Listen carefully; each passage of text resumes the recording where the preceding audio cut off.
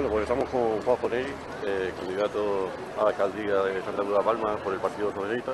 Juanjo, buenos días, una valoración. Una valoración.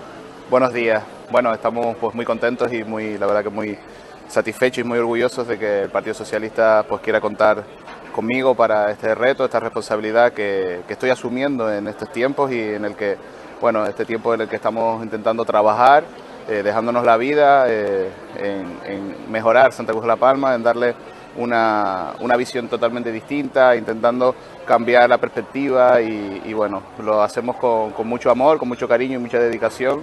Eh, yo creo que fuera de, cualquier postureo, fuera de ruidos y, dedicándonos a lo realmente importante que es que se respete a, nuestra capital de la isla de La Palma. Llevan dos años trabajando, supongo ya que si sale elegido, será una continuidad de lo que están haciendo hasta ahora, ¿no?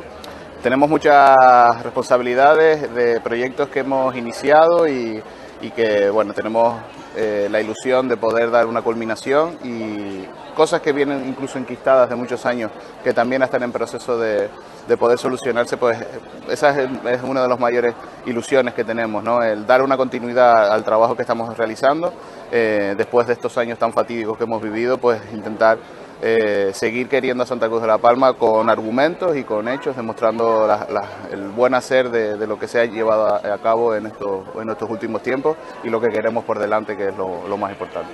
Si no lograra la mayoría absoluta, eh, me refiero al pacto que hay ahora, eh, ¿se podría volver a dar ese pacto con el, Partido Popular o, con otro partido? No sé si entiendo que la las relaciones entre los dos partidos son buenas, ¿no? Sí, hombre, a ver, eh, yo creo que lo primero es que se inicie el proceso electoral para, para luego trabajar eh, y demostrar lo que hemos hecho en este tiempo en esa campaña.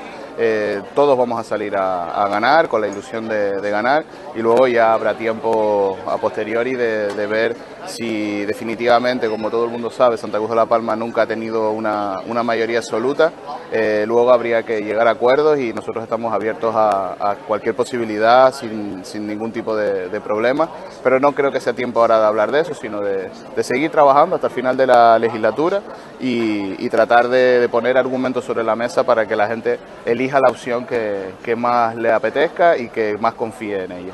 Pues muchas gracias y mucha suerte. Nada, un placer.